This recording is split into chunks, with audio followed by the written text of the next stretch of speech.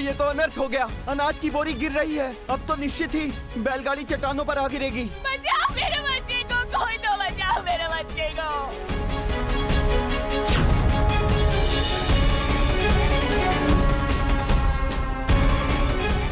कृष्ण बलराम।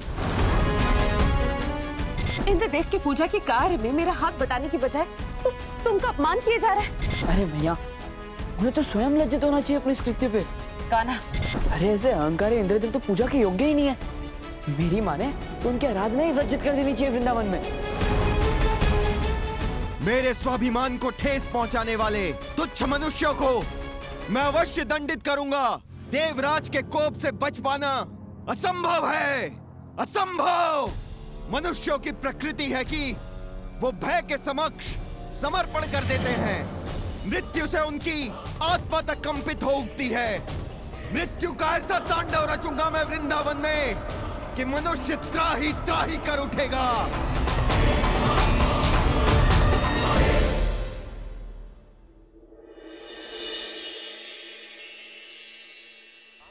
आप कहिए देवराजेंद्र कैसे आना हुआ? यदि कुछ आदेश है तो निसंकोच कहिए। सूर्यदेव आपको अस्त होना पड़ेगा। वो भी अपने समय से पूर्व। क्या? परंतु ऐसा क्यों देवराज?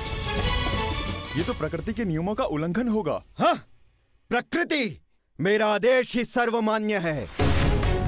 जैसा मेरा आदेश है आप वैसा ही कीजिए। परंतु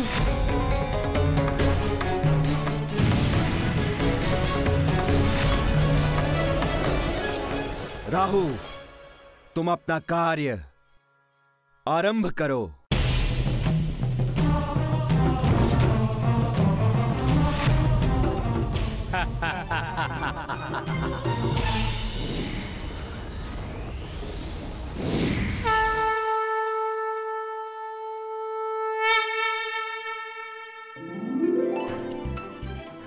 गोवर्धन पूजा संपन्न हुई। गिरिराज गोवर्धन की। जय। गिरिराज गोवर्धन की। जय। गिरिराज गोवर्धन की। जय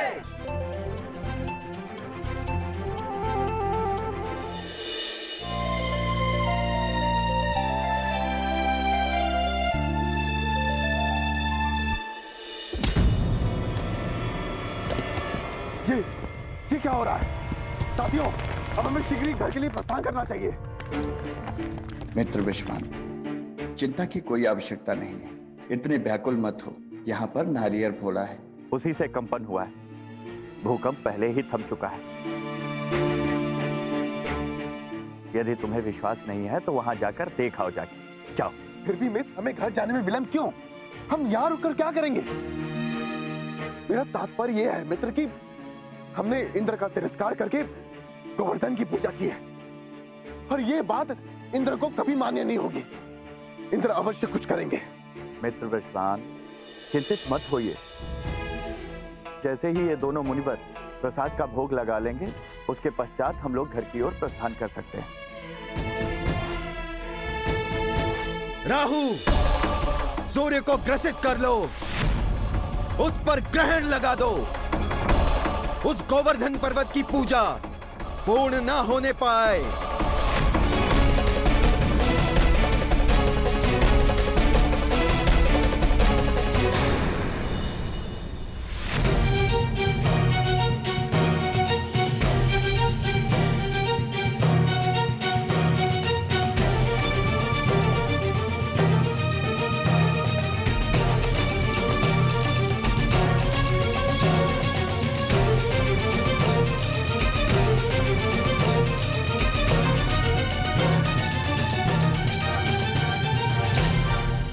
सूर्य ग्रहण। अकस्मात ये कैसे हो गया? ज्योतिष की किसी भी गणना के आधार पर कहीं भी इसके होने की कोई संभावना ही नहीं थी। मुनिवर ये तो बड़ा अपशगुन हो गया। सूर्य ग्रहण के समय प्रसाद का भोग नहीं लगाया जा सकता है। मित्र विश्वान चिंता की कोई बात नहीं। कुछ ही क्षणों में सूर्य ग्रहण संपन्न हो जाएगा। उसके पश्चात मुनिवर प्रसाद का भोग लगा लेंगे। इसके बाद हम लोग घर की ओर प्रस्थान कर सकते हैं।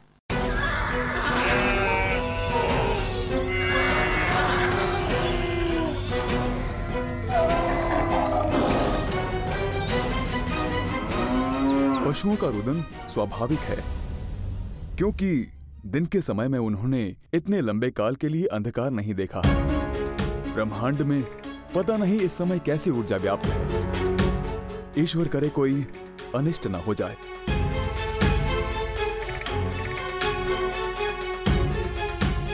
मुनिवर जब पूजा ही पूर्ण हो चुकी है तो प्रसाद ग्रहण करने में विलंब क्यों?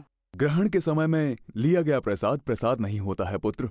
शास्त्र कहता है कि ग्रहण के समय में अन्न और जल सबका त्याग कर देना चाहिए। मुझे ज्ञात था। कि कोई ना कोई अवरोध अवश्य होगा। कान्हा क्या हमारी भक्ति, हमारी पूजा सब व्यर्थ हो जाएगी?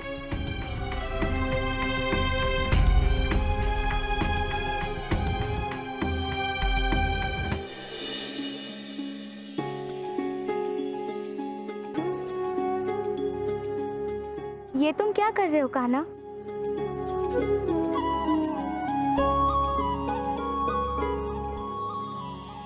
मुरली मनोहर मोहना मुरारी। हर एक रूप में तेरी लीला न्यारी।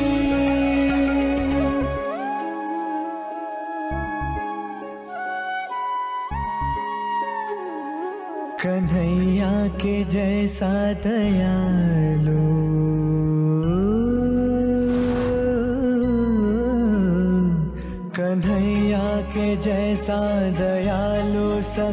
वीर हृदय में समाए ना पीड़ा पर आई। तत्पर सदा ही वो नर की मदद को के अद्भुत है तेरी क्या करूँ दाऊ वृंदावन के वासियों को सूर्य के दर्शन कराना। और पूजा तो तब संपन्न होती है जब मन को शांति मिलती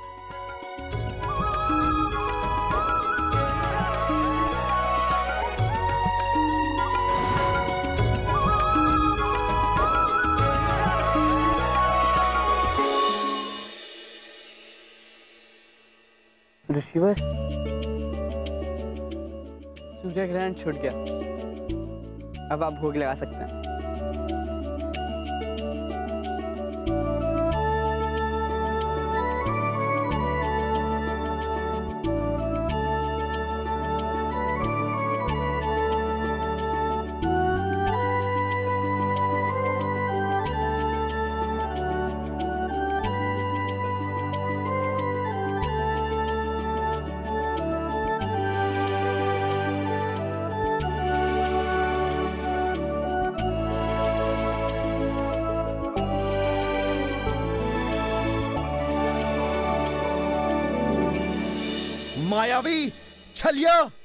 इतना दुस्साहस।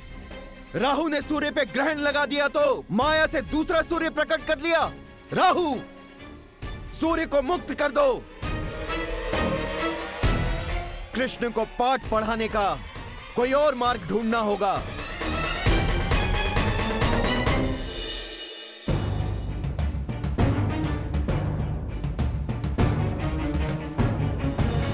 नहीं राहु, रुको। सूर्य को पुनः बंदी बना लो। किंतु देवराज, आपकी ही आज्ञा का पालन कर, मैंने उन्हें मुक्त कर दिया था। उन्हें अधिक देर तक बंधक रख पाना मेरे लिए संभव नहीं होगा। उनकी तपन उनकी ऊर्जा के समक्ष, मेरी शक्तियाँ क्षीण पड़ जाती हैं। मैं क्षमा चाहता हूँ, इंद्रदेव।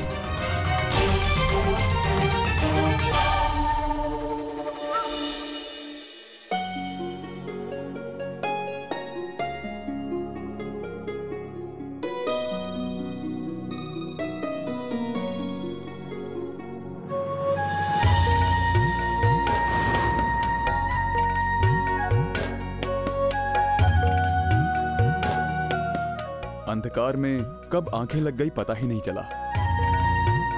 वैसे, तृतीय प्रहर समाप्त होने में अभी कुछ क्षण बाकी है। तो अच्छा कृष्ण ने पूजा पूर्ण कर ली। उत्तम, अति उत्तम। पूजा का फल तो उसके संपूर्ण होने के पश्चात ही मिलता है ना?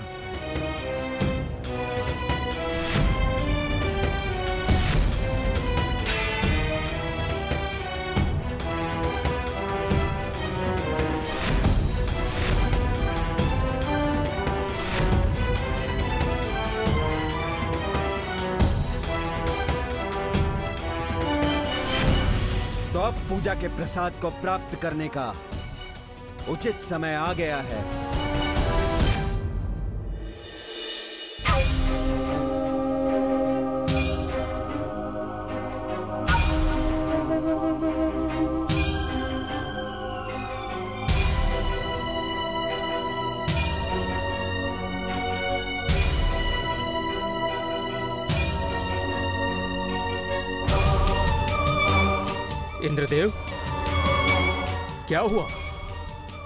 आप इतने व्यतीत क्यों लग रहे हैं? आपकी ये दशा किसने की? ऐसे मौन मत रहिए। कुछ तो बोलिए।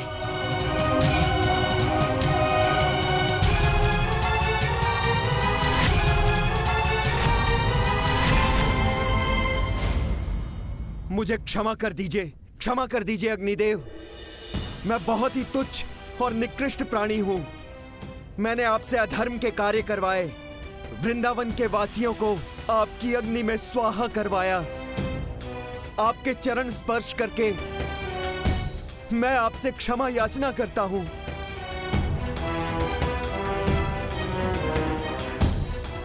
नहीं इंद्रदेव आप हम सभी देवताओं के इष्ट हैं हम सभी देवताओं के राजा हैं। आप मुझसे क्षमा मांगकर मुझे लज्जित मत कीजिए। मुझे क्षमा मांगने दीजिए। मैं भला भगवान विष्णु के आदेश का अनादर कैसे कर सकता हूँ? भगवान विष्णु का अनादर? मुझसे देवताओं के राजा होने का पद छीन लिया गया है। प्रभु विष्णु मुझसे कुपित है। पर भला भगवान विष्णु ऐसा क्यों करेंगे? क्योंकि वो मुझे दंडित करना चाहते हैं। मुझसे मेरा वज्र भी छीन लिया है। मुझसे मेरा सिंहासन भी छीन लिया है। मेरा साम्राज्य ये मेरा देवलोक भी छीन लिया है। किंतु देवराज आपका अपराध क्या था? मेरा अपराध? मेरा अपराध मात्र ये था कि मैं मनुष्य लोक में अपनी पूजा अर्चना कराने के लिए लालायित था। ये मेरा लालच नहीं मेरा स्वाभिमान था। युगों युगों से मनुष्य मेरी पूजा अर्चना करते आ रहे हैं। अब आप सब एक मत होकर बताइए कि मेरा उनसे पूजा जाना क्या गलत है? नहीं बिल्कुल गलत नहीं। किंतु भगवान विष्णु आपको पूजा से वंचित क्यों रखना चाहते हैं? ये तो सरासर अन्याय है। मैं अभागा क्या जानूं? उनके अंतर मन में क्या चल रहा है? जगत के वो पालनहार हैं। उनकी इच्छा के विरुद्ध कुछ भी नहीं हो सकता। जैसी उनकी इच्छा होगी वो वैसा ही करेंगे। मैं तुच्छ उनके सामने क्या कर सकता हूँ? हम ये अन्याय आपके साथ नहीं होने देंगे। कदापि नहीं। हम सब साथ चलते हैं और भगवान विष्णु से याचना करते हैं। उनसे पूछते हैं कि उन्होंने आपके साथ ऐसा दुर्व्यवहार क्यों किया? नहीं नहीं वरुण देव आप ऐसा मत कीजिएगा। नहीं तो आप सब भी उनके कोप का भाजन बन जाएँगे। मैंने देखा है वो अत्यधिक कुपित है। कुपित है तो क्या? आपसे आपका स्वाभिमान छीन लेंगे। आपका अपमान हम सभी देवताओं का अपमान है और ये हम कदापि नहीं होने देंगे। हाँ हाँ हम ऐसा नहीं होने देंगे।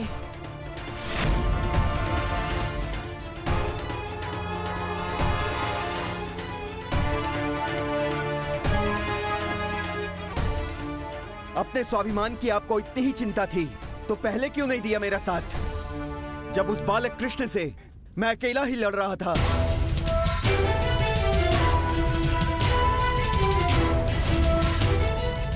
क्षमा प्रार्थी हैं देव। हम सब आपका साथ देंगे और आपके हर आदेश का पालन करेंगे। तो हम सबको एकजुट होकर एकता के साथ भगवान विष्णु को यह दिखाना होगा कि हम सभी देवताओं के विरुद्ध हैं। हम सब की शक्तियों के समक्ष वो अधिक देर तक टिक नहीं पाएँगे। आप आदेश तो करें कि हमें करना क्या होगा।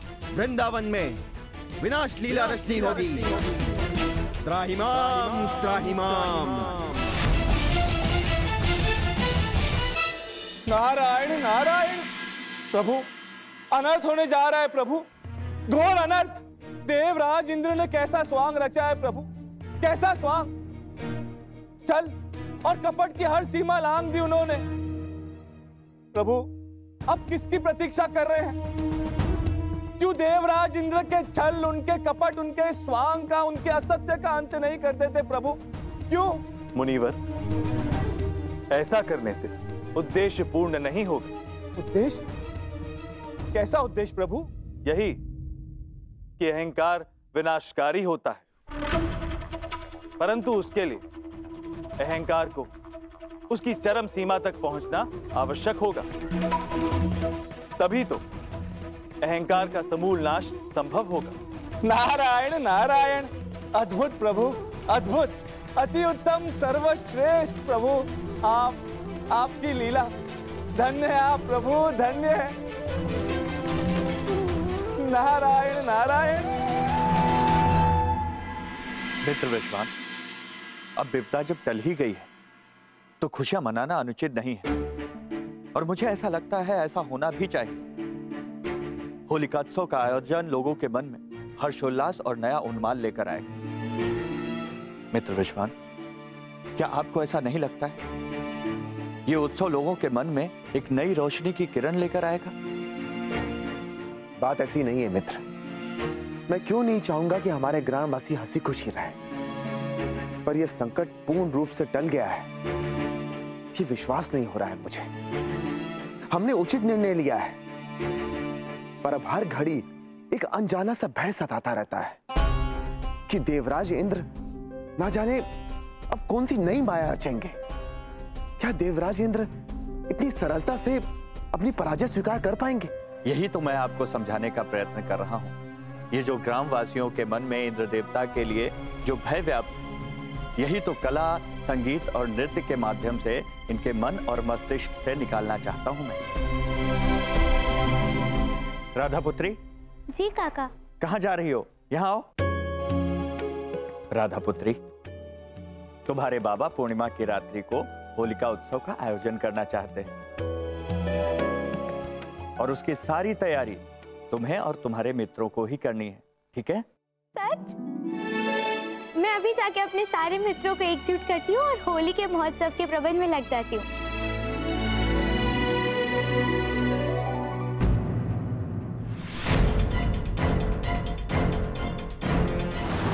राधा पुत्री! क्या हुआ काका? आप चिल्ला क्यों रहे हैं? राधा पुत्री तुम्हारे पैरों में अग्नि। मिस्टर विश्वान अग्नि! पुत्री अग्नि कैसे लगी?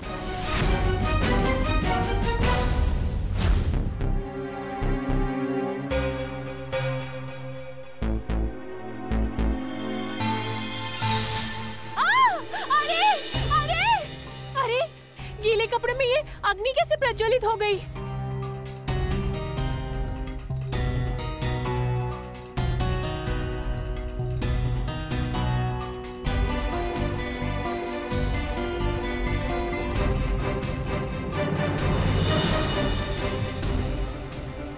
बचाओ!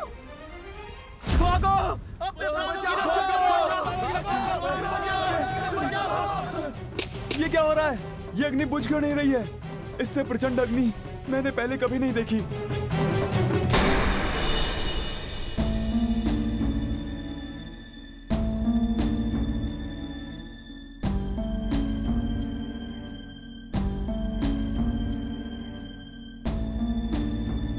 मैंने तो इतना सारा माखन निकाला था। तो फिर माखन इतना कम कैसे? अवश्य कान्हा ने खाया होगा। हाँ समस्त वृंदावन में मैं ही एक माखन चोरू ना? हमेशा का लांछन मुझी पे लगता है। अरे नहीं नहीं लल्ला मैंने ऐसा कब कहा? मैं तो बस ये कह रही थी कि किसी वानर या बिल्ली ने खा लिया होगा है ना मैया? ये किसके चीखने की आवाज़ थी? अरे सुबल क्या हो मित्रा? दाऊ समस्त गाँव में अग्नि का प्रकोप हो उठा है। बिना कारण अग्नि अपने आप प्रज्वलित होती जा रही है। अभी वहाँ खलियान में बच्चे खेल रहे थे वहाँ भी अग्नि प्रज्वलित होती। दूध धोने गौशाला में गए वहाँ भी अग्नि का प्रकोप मच गया। बता नहीं बता नहीं क्या हो रहा है। आग! ये, ये घाघरी में आग कैसे पकड़? ली अग्नि अग्नि कोई आओ शीघ्र आओ। आग आग। ये क्या?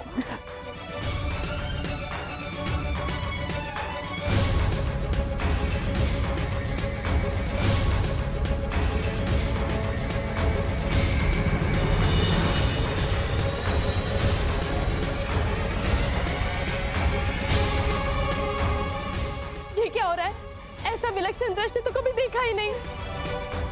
अचानक जल में अग्नि कैसे प्रज्वलित हो गई? हे ईश्वर ये कैसा अपशगुन है? जलो जलो वृंदावन के वासियों जलो।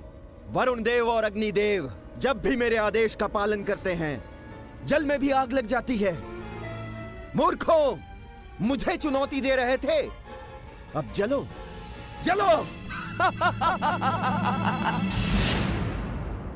नहीं सोचियो! इस अग्नि पर जल मत डालो। देख नहीं रहे हो जल तेल की भांति अग्नि को और अधिक भड़का रहा है। तो फिर क्या करें? इतनी भयंकर अग्नि में तो सारा वृंदावन जलकर भस्म हो जाएगा।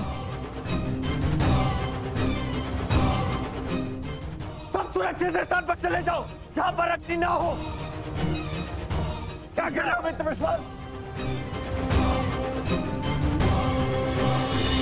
गोवर्धन पर्वत की मिट्टी अग्नि को शांत कर देती है। भूल गए मित्र।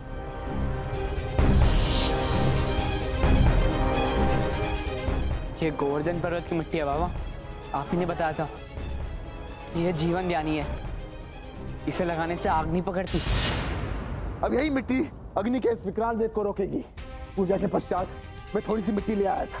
साथियों जाओ सबको सूचित करो। जल के स्थान पर गोवर्धन पर्वत की मिट्टी का उपयोग करें अग्नि को बुझाने के लिए। जाओ शीघ्र शीघ्र जाओ।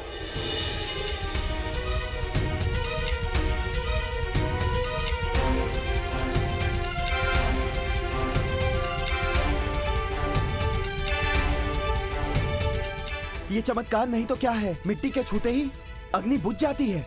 हाँ शीघ्र भरो शीघ्र भरो। यही मिट्टी हमारे प्राण बचाएगी।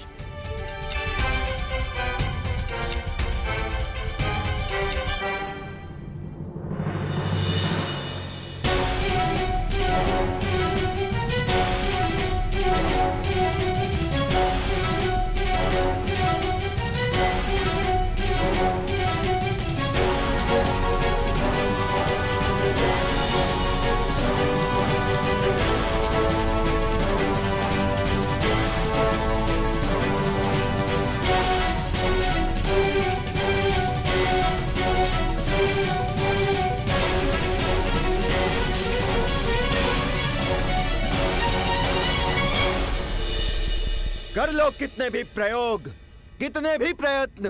अग्निदेव के वेग से नहीं बच पाओगे, वृंदावन के वासियों। अभी तक तो मात्र वरुण देव और अग्निदेव का कोप देखा है। अब वायुदेव का प्रकोप झेलो।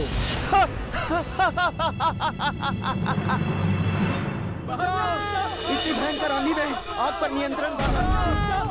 इतनी भयंकर आंधी में आग पर नियंत्रण पाना असंभव प्रतीत होता है।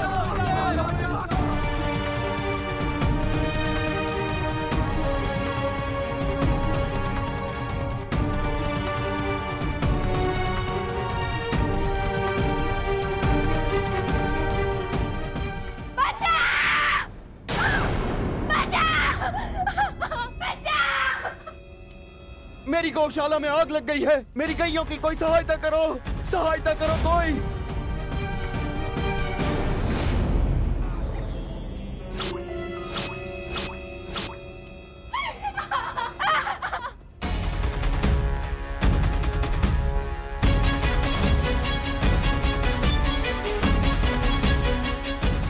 कान्हा कान्हा।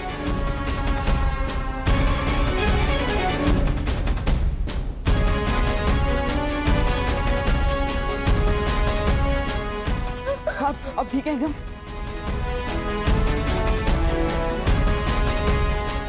चलिए चलिए।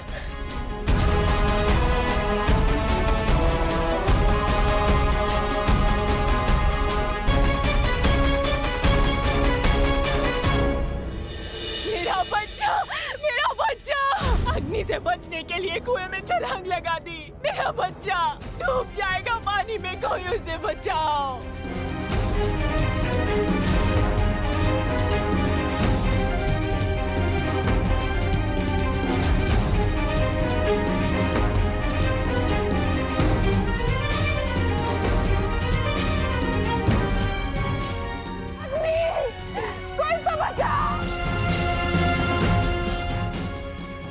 तो भैया की पुकार है।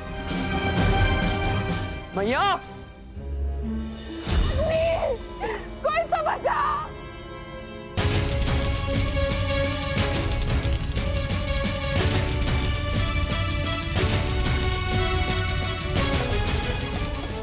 वायु इतनी तेज चल रही है जिसके कारण अग्नि की लपटें और भड़क रही हैं।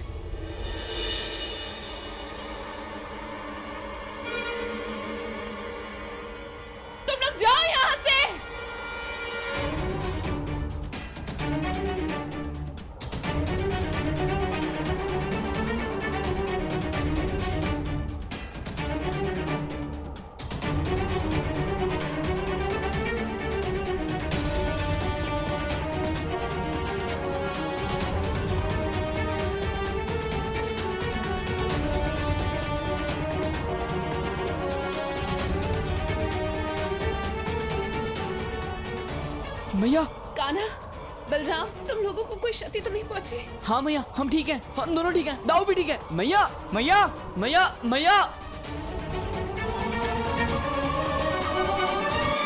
गोवर्धन वृंदावन वासियों का तुम पर अटूट विश्वास है। और इस विपदा की घड़ी में उनके विश्वास और उनकी श्रद्धा को खंडित मत होने देना। ऊँचा उठो और उनकी रक्षा करो। जी प्रभु जैसी आपकी आज्ञा। तथास्तु।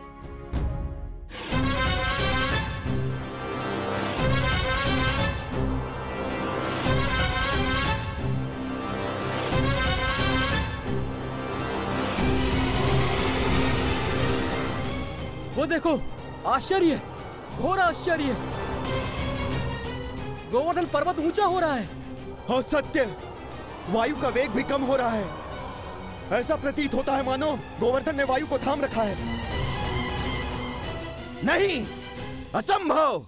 गोवर्धन की मिट्टी में इतनी शक्ति कहाँ से आई कि वो वायु देव की तीव्रता को रोक सकती है? है तो केवल मात्र मिट्टी ही। कहीं देवताओं ने मुझसे छल तो नहीं किया? पवन देव, बस इतना ही बल है आप में? बस इतना ही सामर्थ्य? आप तो अपने पूरे वेग में जन जीवन अस्त व्यस्त करने में सक्षम है। फिर भी उस मिट्टी के पर्वत को आप क्षति नहीं पहुँचा सके। धिक्कार है आप पर। धिक्कार। इतना अहंकार अच्छा नहीं है देवराजेंद्र।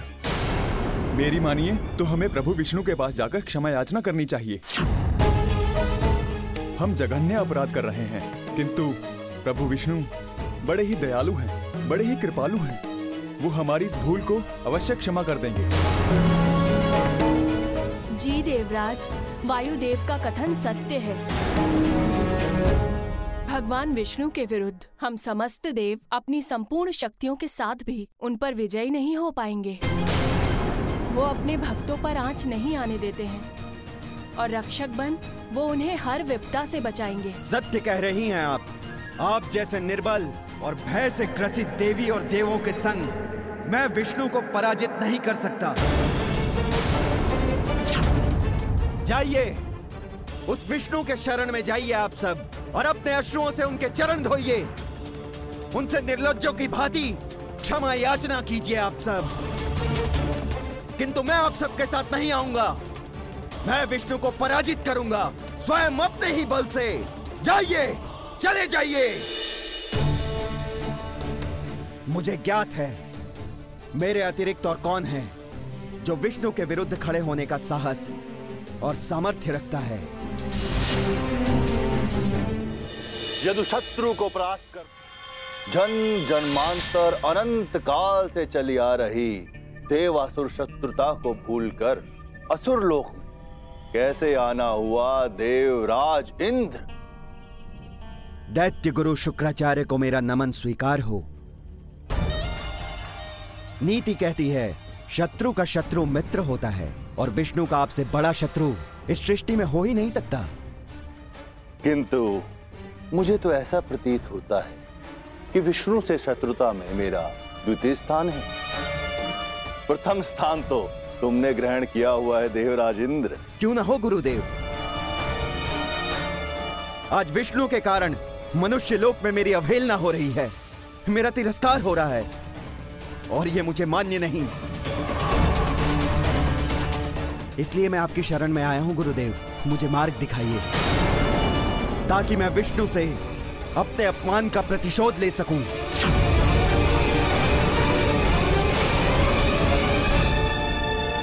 नारायण नारायण! षड्यंत्र रचा जा रहा है प्रभु। देवताओं के राजेश्वर, देवराज इंद्र ने असुरों के गुरु के साथ संधि कर ली। किस कारण प्रभु? मात्र अपने स्वार्थ को सिद्ध करने के हेतु। प्रभु क्या देवराज इंद्र अपने अहंकार वश अपने अभिमान वश इतने अंधे हो चुके हैं प्रभु? प्रभु क्या ये सृष्टि के अंत का प्रारंभ है? धीरज रखिए ब्रह्मर्षि। ये सृष्टि के अंत का प्रारंभ नहीं इंद्रदेव के अभिमान के अंत का प्रारंभ। देवराज यदि शत्रु को परास्त करना हो, उस पर विजय पानी हो तो प्रहार उस पर नहीं। उसके प्रियजन, जिससे वो सर्वाधिक प्रेम करता हो, उस पर करो। कृष्णा, इससे सर्वाधिक प्रेम करता है। कौन है उसका प्रियजन?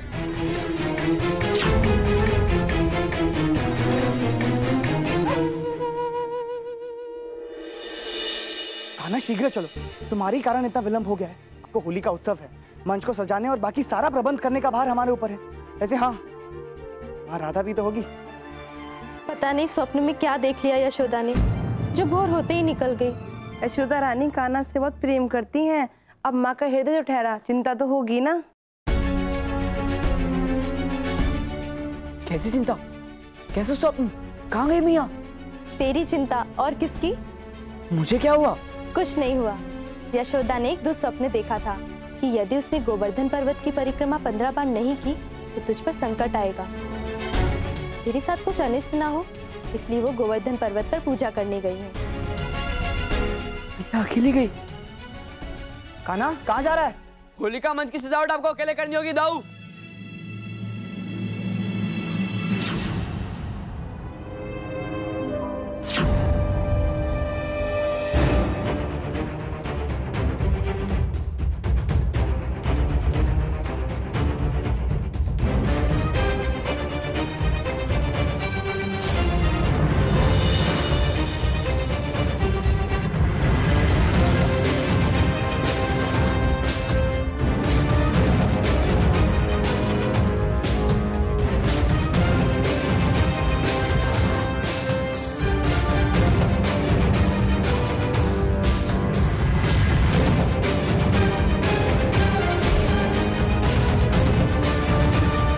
माते।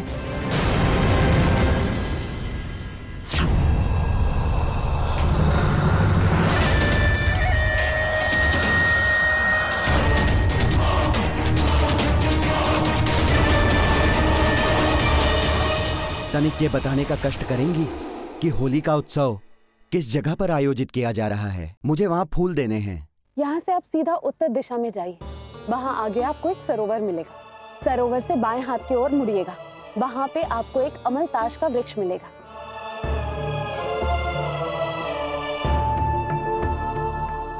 अच्छा अच्छा। चलिए, मैं आपको दिखा देती हूँ। अधिक दूर नहीं। है चलिए।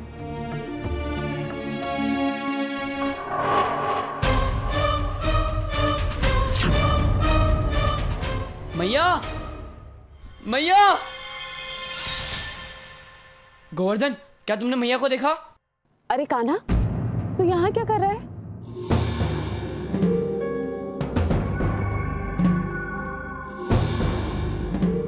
अरे मैया मैं तो तुम मुझे मार्ग में नहीं दिखी इसलिए। कान्हा वो तो मैं एक फूल वाले को होली के उत्सव के मंच तक छोड़ने गई थी। किसी बाहर गाँव से आया हुआ लग रहा था। अपने मार्ग से अनिभिक था। फूल वाला? कौन फूल वाला मैया? वो तो मैं नहीं जानती लल्ला क्योंकि उसे मैंने पहली बार देखा था। हो सकता है कि इस बार विश्वान जी ने किसी और गाँव से फूल मंगवाए हों। उसके पास विभिन्न प्रकार के फूल थे। कुछ फूलों की प्रजाति तो मैंने पहली बार देखा था। अरे कान्हा कान्हा तू कहाँ जा रहा है? कान्हा! कान्हा किधर भागे जा रहे हो? मैं तुम्हारे पास ही आ रहा था। और राधा कहाँ है? कान्हा तुम मुँह क्या ताक रहे हो? राधा तुम्हारे साथ गई थी ना? ये दोनों बता रही थी कि तुम आए थे और राधा को अपने साथ लेकर गए। से चली आ रही देवासुर शत्रुता को भूलकर असुर लोक में। कैसे आना हुआ देवराज इंद्र? दैत्य गुरु शुक्राचार्य को मेरा नमन स्वीकार हो। नीति कहती है शत्रु का शत्रु मित्र होता है। और विष्णु का आपसे बड़ा शत्रु इस सृष्टि में हो ही नहीं सकता। किंतु मुझे तो ऐसा प्रतीत होता है कि विष्णु से शत्रुता में मेरा द्वितीय स्थान है। प्रथम स्थान तो तुमने ग्रहण किया हुआ है देवराज इंद्र। क्यों ना हो गुरुदेव? आज विष्णु के कारण मनुष्य लोक में मेरी अवहेलना हो रही है। मेरा तिरस्कार हो रहा है। और ये मुझे मान्य नहीं। इसलिए मैं आपकी शरण में आया हूँ, गुरुदेव। मुझे मार्ग दिखाइए, ताकि मैं विष्णु से अपने अपमान का प्रतिशोध ले सकूँ।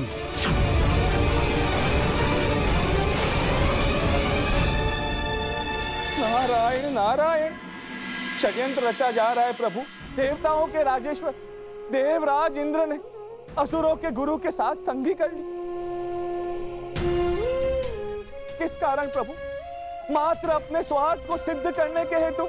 प्रभु क्या देवराज इंद्र अपने अहंकार वश अपने अभिमान वश इतने अंधे हो चुके हैं प्रभु? प्रभु क्या ये सृष्टि के अंत का प्रारंभ है? धीरज रखिए ब्रह्मर्षि। ये सृष्टि के अंत का प्रारंभ नहीं इंद्रदेव के अभिमान के अंत का प्रारंभ। देवराज यदि शत्रु को परास्त करना हो, उस पर विजय पानी हो तो प्रहार उस पर नहीं। उसके प्रियजन, जिससे वो सर्वाधिक प्रेम करता हो, उस पर करो। कृष्णा, इससे सर्वाधिक प्रेम करता है। कौन है उसका प्रियजन?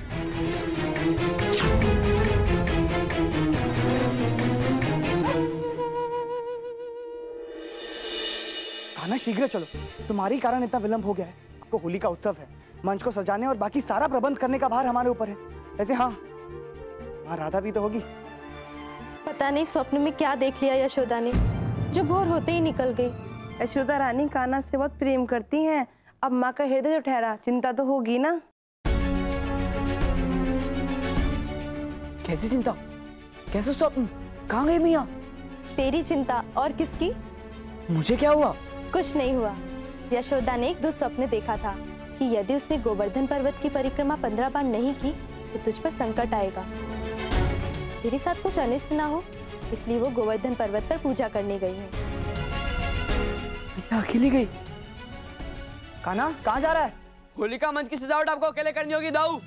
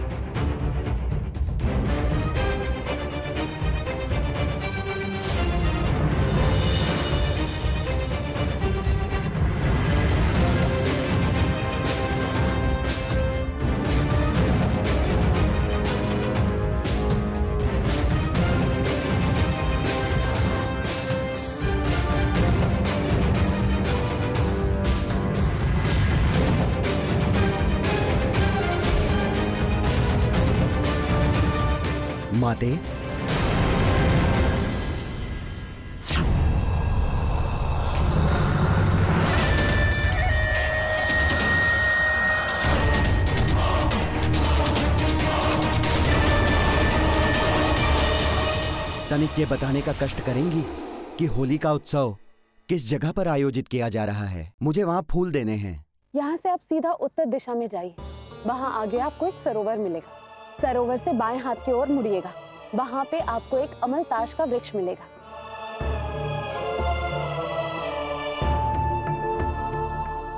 अच्छा अच्छा। चलिए, मैं आपको दिखा देती हूँ। अधिक दूर नहीं। चलिए।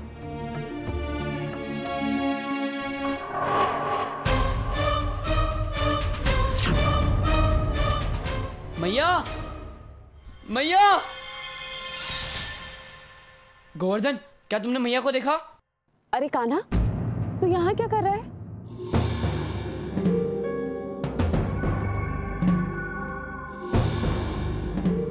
अरे मैया मैं तो तुम मुझे मार्ग में नहीं दिखी इसलिए। कान्हा वो तो मैं एक फूल वाले को होली के उत्सव के मंच तक छोड़ने गई थी। किसी बाहर गाँव से आया हुआ लग रहा था। अपने मार्ग से अनिभिक था। फूल वाला?